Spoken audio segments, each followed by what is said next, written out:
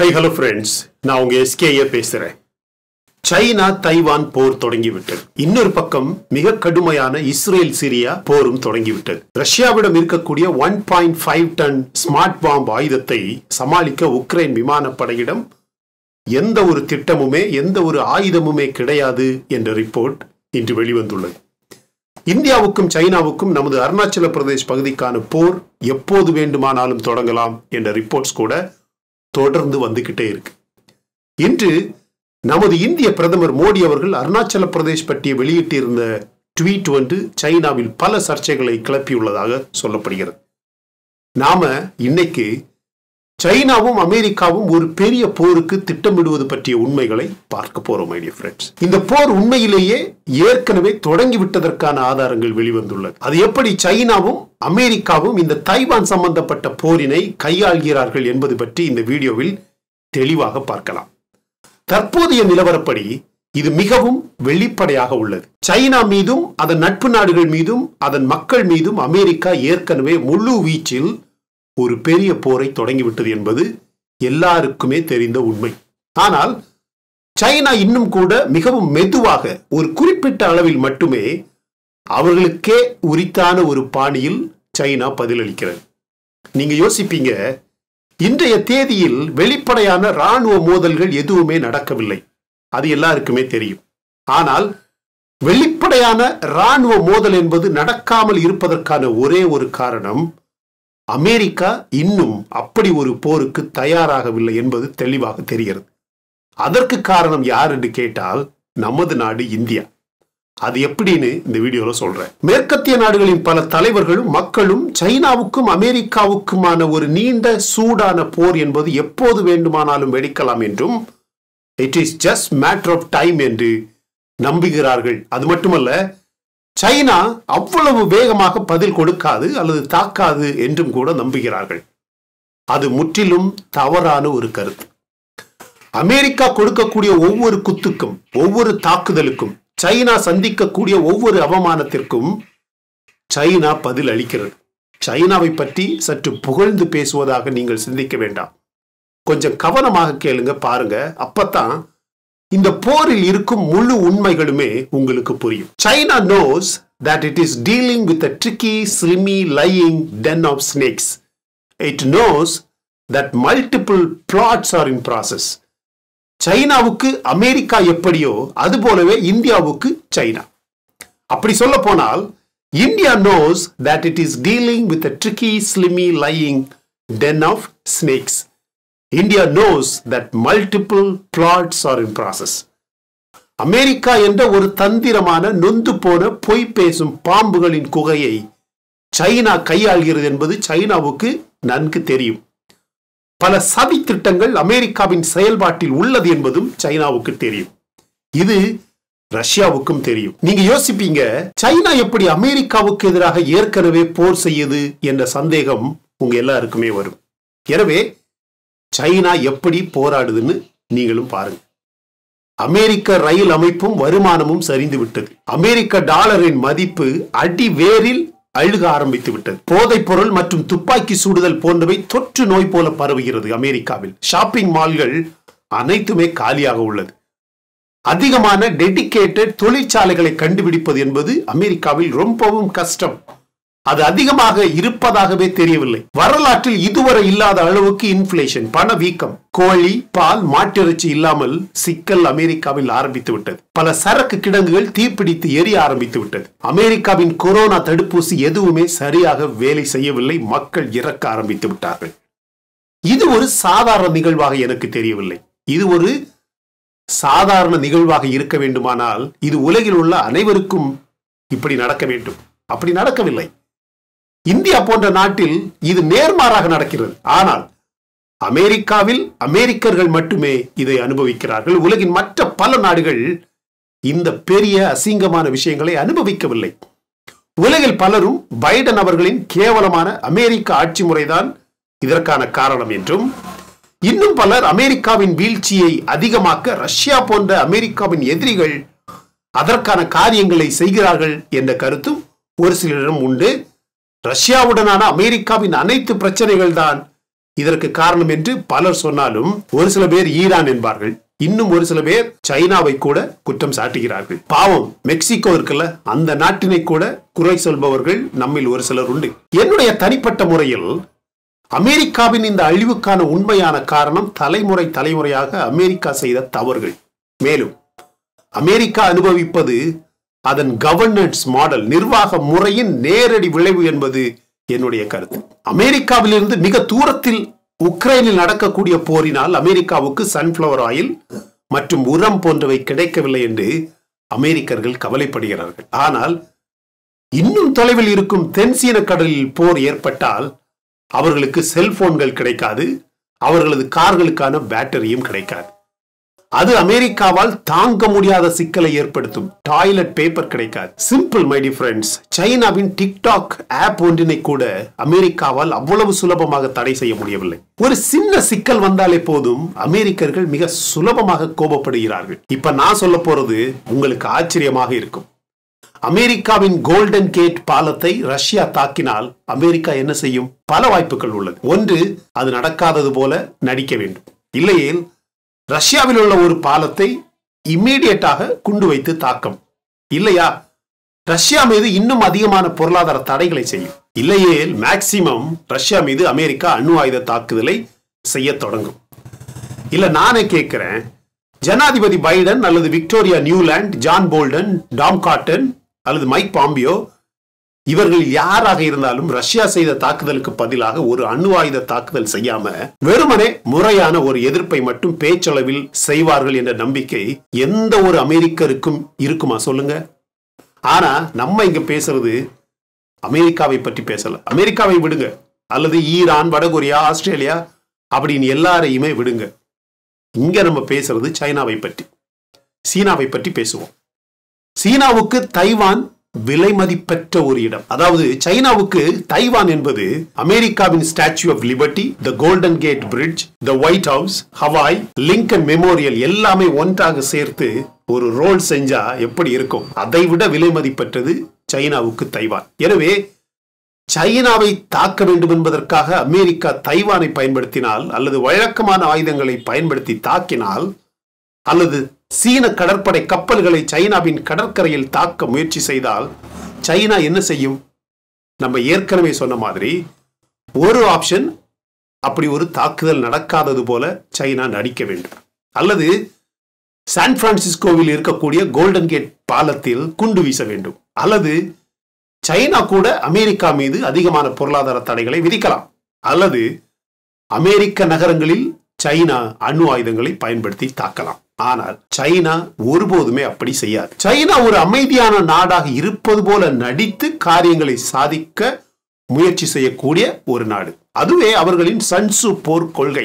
ஆனால் உண்மையிலேயே சைனா ஒரு அமைதியை விரும்பும் நாடு கிடையாது. அமெரிக்கா சைனாவை சுற்றியுள்ள அனைத்து படைகளையும் நிலைநிறுத்தி ஒரு பினாமி கூட்டணியை உருவாக்கி சைனா அல்லது சைனா கப்பல்களை தாக்க தொடங்கினால் அமெரிக்கா ஒரு நீண்ட போருக்கு தயாராக இருக்க வேண்டிய கட்டாயம் உள்ளது. இதற்கு முன் சைனாவுக்கு எதிராக அமெரிக்கா செய்த போரில் அமெரிக்கா தோற்று. இப்போது இருக்கும் நிலையில் தனக்கு எதிரான எந்த ராணுவ நடவடிக்கைக்கும் சைனா பதிலடி கொடுக்கும். அது அணு ஆயுதமாக இருக்கலாம் அல்லது வழக்கமான ஆயுதமாக இருக்கலாம் அல்லது வழக்கத்திற்கு மாறான ஆயுதமாக கூட இருக்கலாம். ஆனால் அது அபாயகரமான ஒரு போராக இருக்கும். அப்படி ஒரு போருக்கு அமெரிக்கா தயாரா என்று கேட்டால் கண்டிப்பாக கிடையாது. அது இந்தியா நமது நாடு இந்தியா கையில் மட்டுமே உள்ளது. எப்படி என்றால் அப்படி ஒரு போர் வந்தால் இந்தியா கண்டிப்பாக அமெரிக்காவுக்கு ஆதரவாக போர்க்களத்தில் இறங்கும் என்று ஒப்பந்தத்தில் இந்தியா கையெழுத்திட வேண்டும் என்று அமெரிக்கா எதிர்பார்க்கிறது. அது நடக்காத வரைக்கும் அமெரிக்கா சைனாவுக்கு எதிரான போருக்கு தயார் கிடையாது. தைவான் பிரசிடென்ட் அமெரிக்க நாடாளுமன்ற சபாநாயகரை சந்தித்த அடுத்த நாளே தைவானை சுற்றி சைனா ஒரு பெரிய ராணுவ பயிற்சியை தொடங்கியுள்ளது. அமெரிக்க ராணுவத்துடனான தகவல் தொடர்பு ஹாட்லைன் இப்போது மூடப்பட்டுள்ளது. அந்த ஸ்பை பலூன் சுடப்பட்டது தெரியுமா? அப்போது அமெரிக்காவுக்கும் சைனாவுக்கும் இடையில் இருக்கக்கூடிய கம்யூனிகேஷன் ஹாட்லைன் மூடப்பட்டது. அமெரிக்காவுடனான ராஜதந்திர வழிகளும் மூடப்பட்டு விட்டது. தைவான் ராணுவத்தை சுற்றி வளைப்பது என்பது தற்போது நடப்பதாக சொல்லப்படுகிறது. தைவானை சுற்றியுள்ள அனைத்து சீன கப்பல்களும் இப்போது போருக்கான தயார் நிலையில் உள்ளது. தைவானின் கடலுக்கு அடியில் உள்ள இன்டர்நெட் கேபிள்கள் துண்டிக்கப்பட்டுள்ளதாக சொல்லப்படுகிறது. அமெரிக்காவின் மீது சைனா பொருளாதார தடைகளை விதிக்க ஆரம்பித்து விட்டது. எனவே இந்தியா வெளிப்படையாக அமெரிக்காவிடம் அமெரிக்காவுக்கும் சைனாவுக்கும் ஒரு போர் ஏற்பட்டால் கண்டிப்பாக அமெரிக்காவுக்கு ஆதரவாக அப்படியானால் ரஷ்யாவை இந்தியா பகைத்து கொள்ள வேண்டும். எனவே அப்படி பகைத்துவிட்டு சைனாவுக்கு எதிரான போரில் அமெரிக்காவுக்கு ஆதரவாக இந்தியா போர்க்களத்தில் குதிக்கும் என்று தெளிவாக ஒப்பந்தத்தில் கையெழுத்திட்டு கொடுத்தால் மட்டுமே சைனாவுடனான ஒரு நீண்ட போருக்கு அமெரிக்கா தயார் என்ற அர்த்தம். அது நடக்கும்னு நினைக்கிறீங்க? கண்டிப்பாக நடக்காது. எனவே அமெரிக்கா சைனாவை தாக்குமோ இல்லையோ? சைனா கண்டிப்பாக அமெரிக்காவுக்கு எதிரான ஒரு போரில் தயாராக இருக்கு. இதனால் இந்தியாவுக்கு ஏதாவது பாதிப்பு உண்டா அப்படின்னு கேட்டா கண்டிப்பாக கிடையாது மீடிய ஃப்ரெண்ட்ஸ் எப்ப இந்தியா வந்து அமெரிக்காவுக்கு ஆதரவாக போர்க்களத்தில் குதிக்கும் அப்படிங்கிற ஒப்பந்தம் செய்யப்படுதோ சைனா அமெரிக்காவை தாக்காது. எப்படி ஒரு இன்ட்ரெஸ்டிங்கான ஒரு ஆங்கிள் பார்த்தீங்களா? அமெரிக்கா சைனாவை தாக்க வேண்டுமானால் கண்டிப்பாக இந்தியாவின் ஆதரவு கன்ஃபார்ம் ஆக வேண்டும். இல்லை என்றால் அமெரிக்கா தாக்காது. ஆனால் அதே ஆதரவு இந்தியாவால் கொடுக்கப்பட்டால் சைனா மறுதாக்குதல் செய்யாது. சைனா அமெரிக்காவுக்கு எதிராக போரில் குதிக்காது ஆனால் கண்டிப்பாக ரஷ்யா தனது நண்பன் என்ற முறையில் இந்தியா அமெரிக்காவுக்கு நேரடியாக ஆதரவு கொடுக்காது அல்லது போர்க்களத்தில் குதிக்காது ஏன் எதுவுமே சொல்லாமல் அணிசேரா கொள்கையை ஃபாலோ செய்து களத்தில் குதிக்காமல் நியூட்ரலாக இருக்கும் என்பது சைனாவுக்கு தெரியுமானால் மட்டுமே சைனா அமெரிக்காவை தாக்கும் மை டிஃப்ரெண்ட்ஸ் இந்தியா அமெரிக்காவுக்கு ஆதரவாக வெளிப்படையாக நாங்க போர்க்களத்தில் குதிக்கிறோம் அப்படின்னு சொல்லாம இருக்கணும்னா சைனா அதுக்கேற்ற மாதிரி இருக்கணும். China working to set up radar system in Sri Lanka Dondra Bay Hambantota போர்ட்டுக்கு முடிஞ்சு இப்போ ஸ்ரீலங்காவில் இருக்கக்கூடிய தோந்த்ரா பே அப்படிங்கிற ஒரு இடத்துல புதிய ரேடார் சிஸ்டம் வரப்போறதா சைனா ஸ்ரீலங்காவுக்கு சொல்லியிருக்கு. ஸ்ரீலங்காவில் ஏன் சைனாவின் ரேடார் சிஸ்டம் வரணும்? கண்டிப்பாக அது இந்தியாவை சம்பந்தப்பட்ட ஒரு விஷயம். உடனே தான் இந்தியா எல்லா ஏற்பாடுகளையும் செய்யுது. சைனா அப்பப்போது இப்படிப்பட்ட விஷயங்களை செய்யற காரணத்தினால தான் இந்தியா எப்போதுமே சைனாவுக்கு எதிரான ஒரு போருக்கு தயாராக இருக்க வேண்டும் அப்படிங்கிற ஒரு கொள்கையை கடந்த இருபத்தி நான்கு மாதங்களாக தொடர்ந்து ஃபாலோ பண்ணுது. India's new military hardware to be put across systems இந்தியாவில் எந்தெந்த போர் படைகள் எந்தெந்த போர் சிஸ்டம்ஸ் வார் சிஸ்டம்ஸ் இருக்கோ எல்லாத்துலேயுமே அதிகமான ஹார்ட்வேர் சிஸ்டம் வந்து ஆயுதங்களை வந்து இந்தியா வாங்க ஆரம்பிச்சிருக்கு மேடி ஃப்ரெண்ட்ஸ் இந்த last twelve months alone projects worth more than two point seven one lakh crores two point seven lakh crores அமௌண்ட்டுக்கு இந்தியா ஆயுதங்களை வாங்கியிருக்கு. எப்போ? கடந்த பனிரெண்டு மாதங்களில் மட்டுமே. ஏன்னா பல வாய்ப்புகள் இருக்கு. இந்தியா சைனா போர் தொடங்குவதற்கான வாய்ப்புகள் அதிகமாக இருக்கு. ஏன்னா அதற்கான காரணங்களும் அதிகமாக இருக்கு. இந்த வாரம் உள்ள விஷயங்களை மட்டுமே பாருங்க.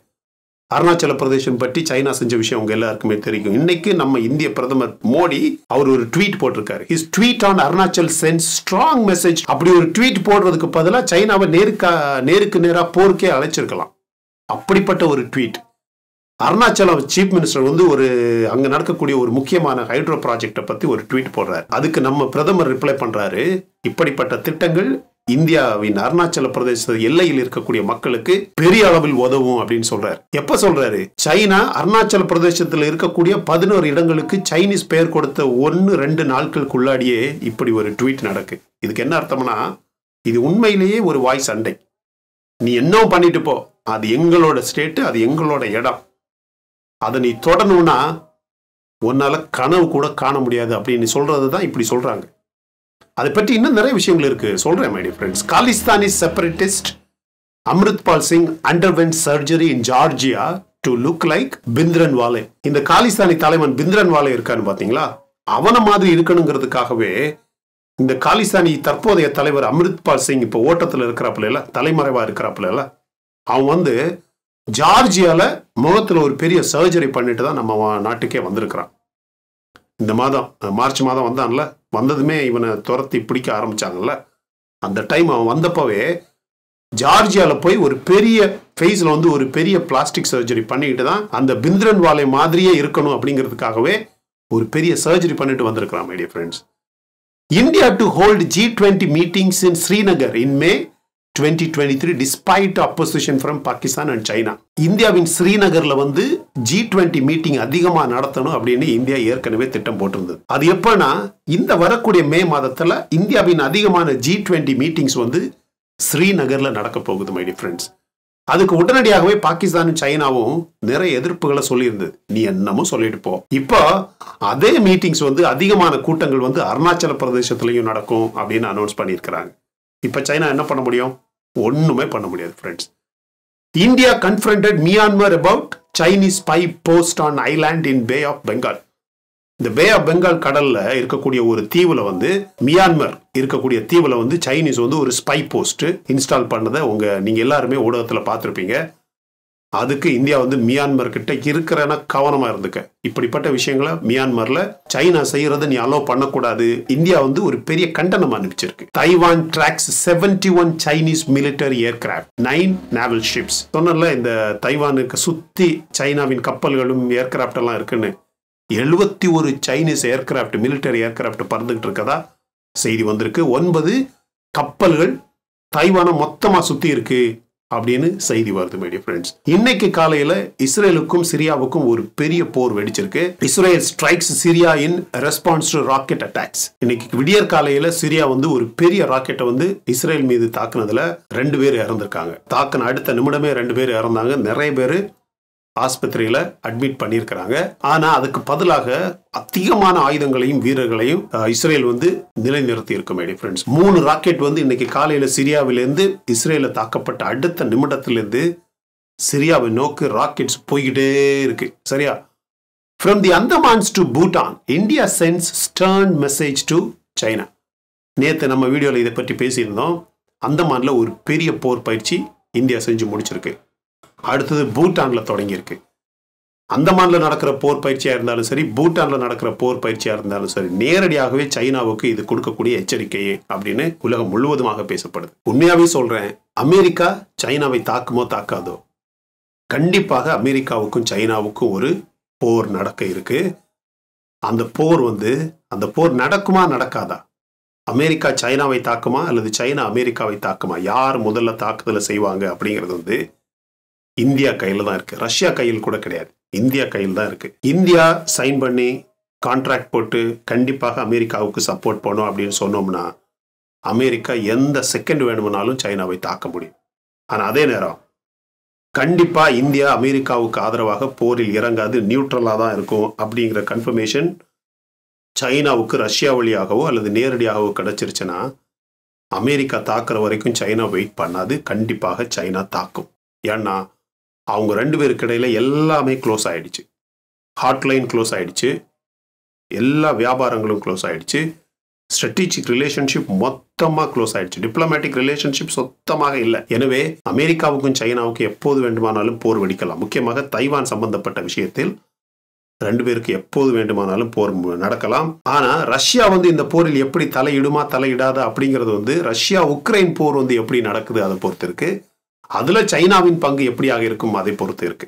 எனவே கண்டிப்பாக இந்த போரை முடிவு செய்யக்கூடிய ஒரே ஒரு நாடு ரஷ்யா கூட கிடையாது மாறாக இந்தியா. ஏன்னா இந்தியாவின் பவர் அந்த அளவுக்கு ஒரு பெரிய எலிவேட்டட் லெவலில் இருக்கு மேடிய ஃப்ரெண்ட்ஸ் ஒத்துக்கிறீங்களா இல்லையா?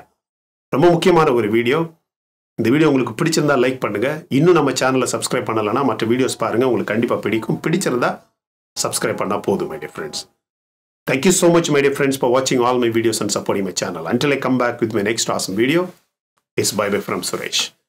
Stay safe, stay positive, stay active, and stay fit. And always dream big in your life. நம்மளால எப்பவுமே எதையுமே எங்கேயுமே சாதிக்க முடியும் அப்படின்னு நம்ம ஃபர்ஸ்ட் நம்பணும் my dear friends and as I always say please take care of your parents at home உங்கள் அப்பா அம்மாவை உங்கள் வீட்டிலேயே வச்சு நல்ல சந்தோஷமாக பார்த்துக்குங்க ஃப்ரெண்ட்ஸ் தேங்க்யூ